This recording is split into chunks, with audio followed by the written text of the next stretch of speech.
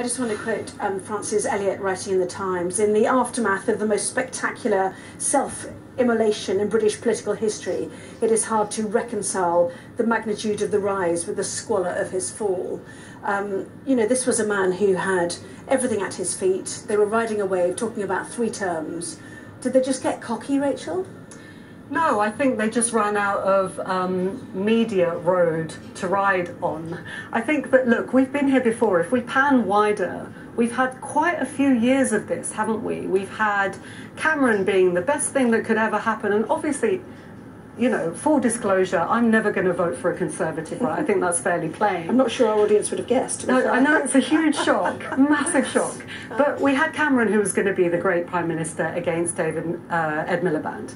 And then we had Theresa May, again, puffed up to be this brilliant, amazing person. Turns out she wasn't. And then Boris Johnson, what a surprise! The man that everyone said was a lying incompetent turned out to be a lying corrupt incompetent. And so we've had year upon year upon year of this. We've had media political system that puffs up these conservatives because the conservatives being in power is more important than the well-being of the of the entire country. And when when is that going to run out of road? Well, when yes, so when when